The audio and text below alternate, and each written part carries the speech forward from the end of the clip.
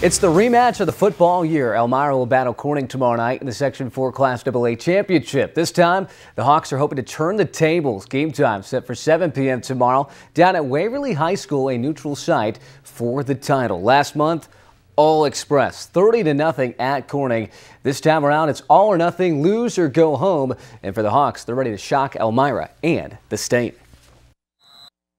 Uh, I think just executing, making sure we wrap them up because they will go through arm tackles. They have the ability to be able to break plays for big yards. So making sure that they don't get any big plays is something we, have been focusing on. To make it here is something that I'm very proud of all the kids, and uh, it's something they've earned, something that they set out to do. All right, Jenna Cottrell will take a look at the Express tonight at 11. And you can take a look at this. Twin Tiers Football, the season special, is on the web now. Visit WENY.com and click on sports to get you ready for all the action and so much more. Great stories, interviews, and the top five football players ever in the Twin Tiers history. They're all on there. Check it out. And a big night tonight for Southside grad Mike Weaver. He'll be on ESPN tonight at 7.30 as his Wake Forest Demon Deacons battle 19th ranked Clemson.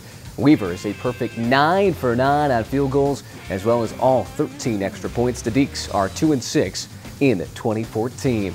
Well, if the season couldn't get, any, couldn't get any worse for Syracuse, it certainly has. Starting freshman quarterback A.J. Long is doubtful for Saturday's game versus Duke due to a nerve issue in his throwing arm.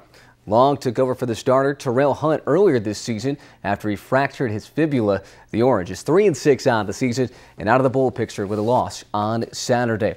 Renata, let's rejoice right now to the NFL. London is calling for the clash between the Bills and Jaguars in 2015. Buffalo will play Jacksonville October 25th, 2015 in London, England at world famous Wembley Stadium. This marks the second time ever the Bills have ever played in London, the first being 1991, a preseason game versus the Eagles. Bills host the Chiefs Sunday at 1.